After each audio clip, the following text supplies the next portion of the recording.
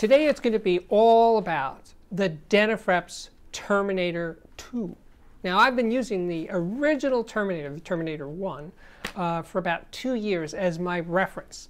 Many DACs have passed through this room and yet the original Terminator is still here and that says a lot about, well, how good it sounds to be blunt about it, right?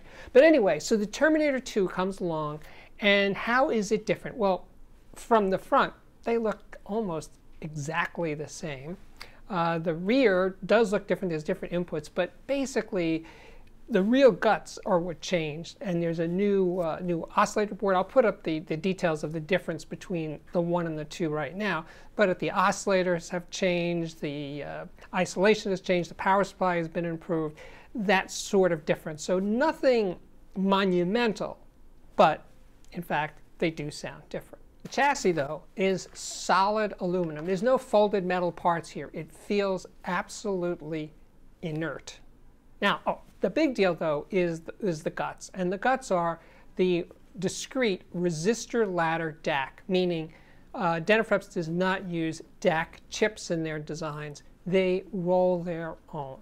And that's, no, they're not the only company that does that, but in terms of at this price range and at this level of uh, quality, it's, it is kind of unusual. It is. Let's take a peek under the hood and you will see Denafrips discrete resistor ladder DAC. There's over a thousand precision resistors used in those four banks because this is a fully balanced from input to output DAC. So round back you'll note that there are balanced XLR and RCA analog outputs.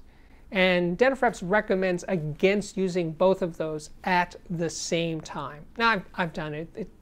Nothing awful happens. It's just, it does sound slightly better if you use one output or the other. The other noteworthy thing about that rear panel is it has three, count them, three I squared S inputs. Now, I, I, can't think of any others that do that. And the thing is, the reason they're doing that is, other than bragging rights, is that you can configure the I squared S to work with your, let's say, transport. Because there's no standard format for the pin configuration on I squared S. So with the Denafrips Terminator 2, you can configure it to work with just about any, but not 100% of sources. That's pretty cool. Speaking of important, yes, there will be an audiophiliac viewer system of the day at the conclusion of today's show. Now, as for probably the most important number of all, I'm going to run down some numbers, and the number is $4,450 uh, in silver or black finishes. Now, that price includes free shipping worldwide, and at least in the US, no tax. Now, I'd have to point out that Denafrips is a Chinese company. The Terminator is made in China, but worldwide distribution occurs through Vinshine Audio, which is located in Singapore. Uh, they provide a three-year warranty. And uh, now understand that when you go to the Vinshine Audio website, wherever you are in the world, the prices listed are in Singapore dollars, and you have to convert to the local, your local currency. And then the shipping is free. And the tax situation obviously depends on where, you're, where you live. So is this a perfect act? Steve, it sounds like everything is glorious about it. What, what could possibly go wrong? Well, there's a few things I have to bring up. First, there's no MQA. If you're an MQA person, in other words, you listen to Tidal and you care about MQA, mm, sorry, there's no MQA here. And the thing that bugged me more than the no MQA is there's no remote control. Not having a remote means that if you want to change inputs, well, you got to get off off your couch or listening chair and go over and do that. If you want to invert phase, same deal, you got to get up and do it. Mess around with the filters, you got to get up and, and handle that the old-fashioned way by pressing buttons. And those buttons are very, very nice, I should point out. But anyway, it's a totally manual affair. And to make matters somewhat worse, there's no display. There's no LED or LCD display. So you got to get up and look at it. Now the labeling on the front panel is really, really tiny and virtually impossible to see in dim light, and actually sometimes hard to see in bright light. And the LEDs are real, are also really, really tiny, these little red LEDs, and they tend to be invisible most of the time to me. So uh, you gotta, but you know, in day-to-day use, that's not an issue. But I'm just saying, damn, I wish it had a display. It would make life so much easier. As for the rest of the review system, I used a Pass Labs XP30 preamplifier, a Pass Labs XA25 power amplifier, Klipsch Cornwall for speakers. As for high-res uh, listening, some of the time at least, I was using a Pass Labs HPA1 headphone amplifier, which is also a preamp, and Meze Empyrean headphones. Those are open back planar magnetic headphones. Really, really good. I neglected them too long. And, and during this review, I fell back in love with the Meze Empyreans. Really nice headphones. To start, I inserted the Terminator 2 into my system and just left it there. I didn't do comparisons with anything for quite some time. I just listened to it. And I can't say that when I went from Terminator 1 to Terminator 2 that the world changed or anything. No, it sounded it sounded better, but I wasn't trying at that point to figure out how or why it was different, you know. It just stayed there for about 6 weeks of just being in the system, and that was a great way to get to to know the piece. So then when I went back to the Terminator 1 and I left both of them on, they were both fully warmed up. When I went back to the Terminator 1, the differences were there. And the first recording I played was this Telarc. It's a Bach organ recording really, really good. Very, very audiophile, very airy and spacious. And that was the difference that the Terminator 2 brought to the party over the one. It just opened up more. The organ went maybe went down a little deeper, but really it was a spatial difference that one sounded spatially bigger than the other. The two sounded bigger than the one. Next up was Neil Young's Unplugged session, which is really good. He was very into doing it that way. Uh, I think it's one of the best unplugged ever of that series. On, I guess it was MTV. But in any case, the recording quality is good. I wouldn't say it's great, but yeah, there was more of Neil coming through. His his soul, his humanity came through a bit better on the two than the one. Not gigantic differences. The one is still really, really fantastic. That's how it managed to stay here for such a long time, for about two years. It was in my system. So I can't say when I went back to the one, I was, oh my God, it's so awful. No, the one is still really, truly exceptional. For a bit better quality recording and higher res, I played the Buena Vista Social Club on Qobuz, streaming that. Oh, with a Node 2i, by the way. And yeah, you know, it's a great recording. It's done in a Havana studio.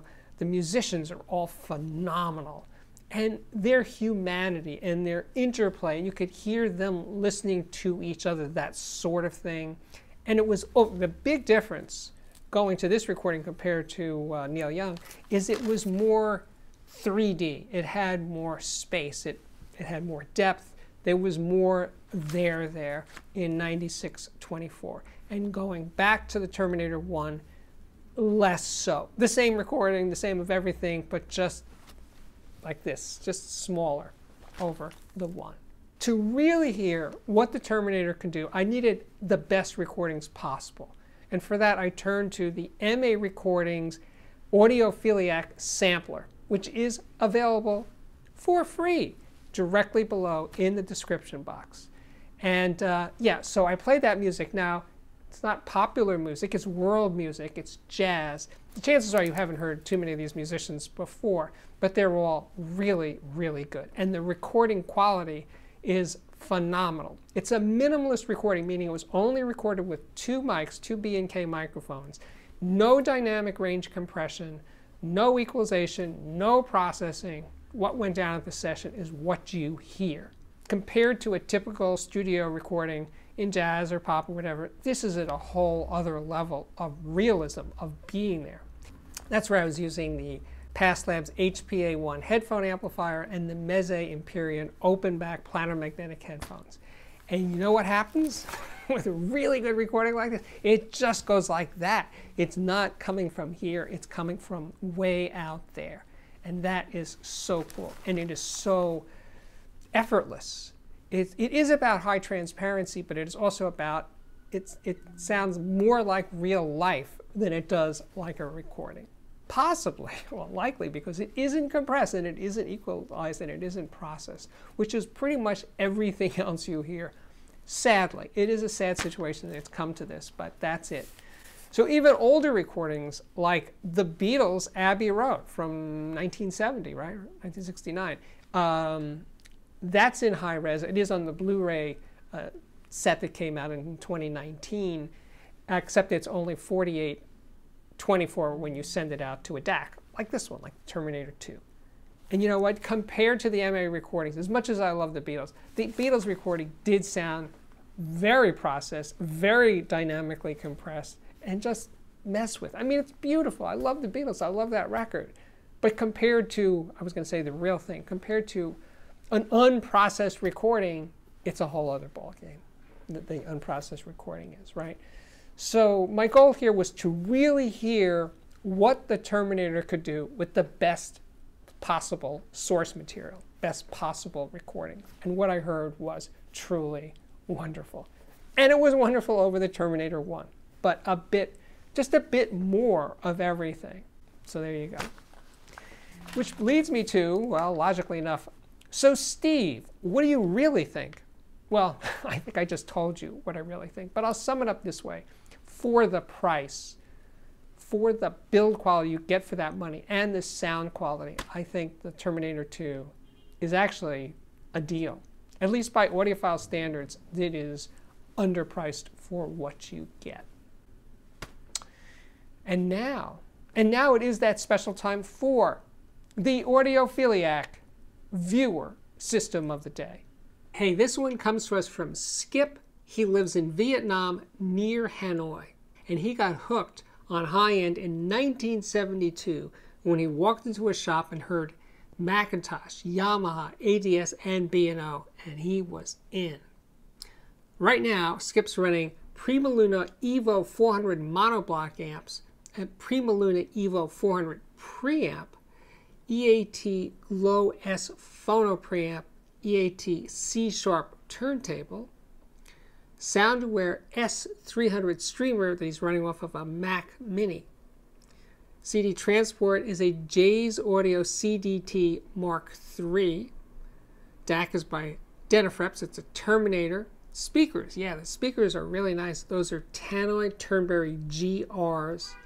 Subs, he has two, and they're both Rel S5 shows. Power conditioning is by Plixir. There's a BAC 3000 and a BAC, actually two of them, 400. Cables are by AudioQuest, Sound Affair, and Cardas. Thanks, Skip. We are back. My name is Steve Guttenberg, and I continue to be the audiophiliac. If you like what I'm doing here on the show, please give me likes very important to the YouTube algorithm and important to me by extension. But anyway, please give me a like and also subscribe. If you haven't already subscribed, please join us. super easy to do. Hit that button yeah, over there somewhere and subscribe. And when you do, hit the notification bell so you'll be notified every time there's an amazing new episode. And you will be notified even when the episodes are not particularly amazing. They're all pretty good though. What else? You could check out the Patreon, which can be found at p-a-t-r-e-o-n dot com slash, say it together, class, audiophiliac. What else? Well, oh, Patreon accepts payment, it's not free, payment in dollars, pounds, and euros. And now I can say my work here is at last complete. Thank you again for watching, and I really do Hope to see you back here again very, very soon. Bye bye.